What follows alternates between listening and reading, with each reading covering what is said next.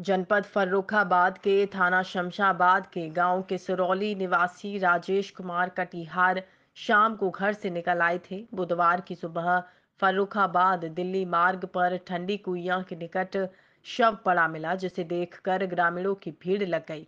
मौके पर पहुँची पत्नी ममता पुत्र साहिल ने बताया कि पिता बुधवार की शाम घर से निकले थे। अक्सर शराब पी लेते थे। किसी वाहन ने टक्कर मार दी होगी।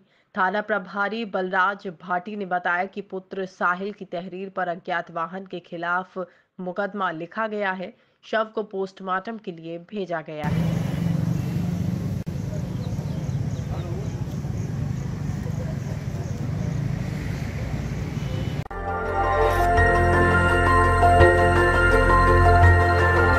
देखते रहिए डीबी भारती समाचार नज़र हर खबर पर।